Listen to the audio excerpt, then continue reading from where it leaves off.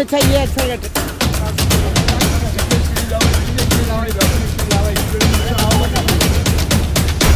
नमस्कार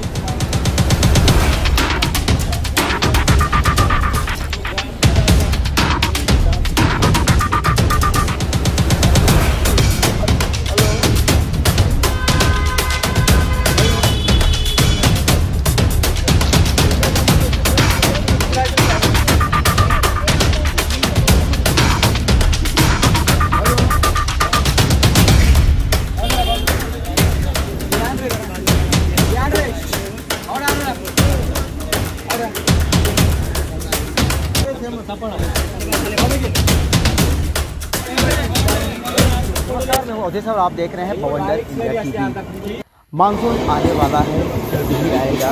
और मानसून आने के बाद मीरा भंडर शहर में कई जगहों पे जल जमाव हो जाता है, जिसकी वजह से आम नागरिकों को काफ़ी दिक्कतों का सामना करना पड़ता है। इसी की वजह से इस बार मनपा आयुक्त दिलीप ढोले ने सभी अधिकारियों को उन्होंने सतर्क किया है कि इस बार किसी भी प्रकार का कोई भी तकलीफ़ आम नागरिकों को नहीं होना चाहिए और जल जमाव कहीं हो नहीं होना चाहिए। इसी दरमियान वो आए दिन शहर का मुआयना करते हैं और नाले सफ़ाई किस तरह से हो रहे हैं वहाँ पे क्या तकलीफ़ है वो खुद जाते हैं कि आज इसी प्रकार मनपा आयुक्त दिलीप ढोले मनपा के कई सारे अधिकारी आमदार गीता जैन और जिन्होंने ठेका लिया है नाले सफ़ाई का वो हर एक जगह पे जा रहे हैं जिसकी वजह से ज़्यादा दिक्कतों का सामना करना पड़ता है। चाहे वो माही चाहे वो मीरा भाईंदर पश्चिम हो, चाहे वो मीरा भाईंदर पूर्व हो, इसी प्रकार इसमें हम खड़े हैं जाफरी खाड़ी के पास, जहाँ पे आप देख सकते हैं, यहाँ का नाला अभी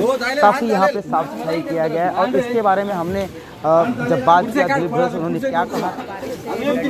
शहर तैयार है, ये हंड्रेड परसेंट के बहुत करीब मैं हंड्रेड परसेंट नहीं कहूँगी, लेकिन और थोड़े दिन का काम बाकी है और मुझे आशा है कि हम ज़रूर पहुँचेंगे।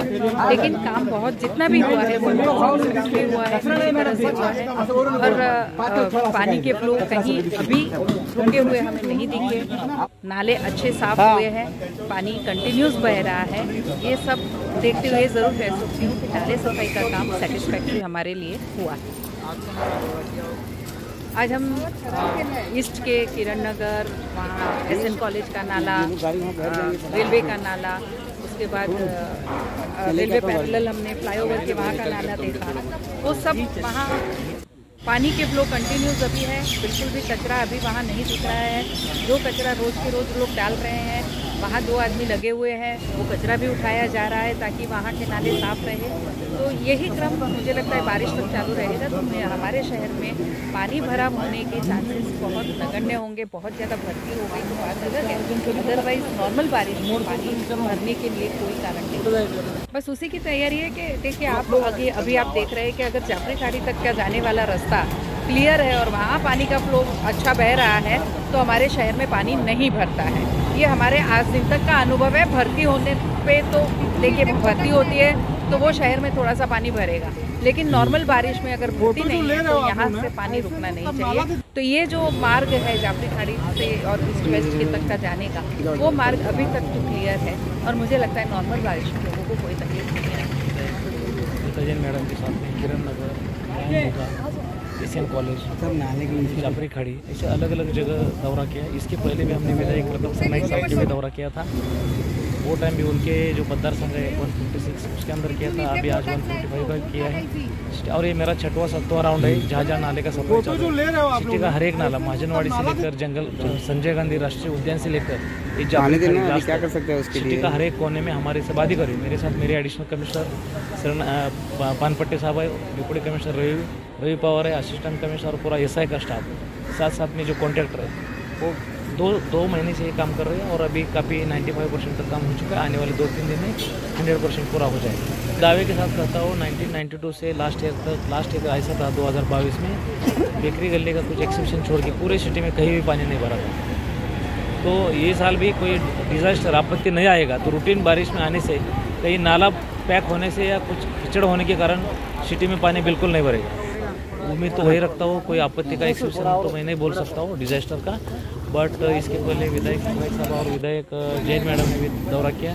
साथ साथ में वहाँ के लोकल कॉर्पोरेटर्स हैं उनको हम यहाँ इसके अंदर शामिल करके उनका जो जो सुझाव आता है वो सुझाव ध्यान में रख के आगे का काम करते हैं इसलिए उम्मीद है ये साल में कुछ दिन आपने देखा मीरा भाईंदर आयुक्त दिलीप ढोले और आमदार गीता जैन ने किस तरह से कहा कि इस बार मीरा भाईंदर शहर वासियों को कोई भी समस्या नहीं होगा और आए दिन मीरा भाईंदर शहर में, जहाँ जहाँ पानी जमा होता था, वहाँ उन्होंने विशेष कर कर ध्यान दिया है कि क्या वाकई में काम सही तरह से हुआ है या नहीं हुआ है।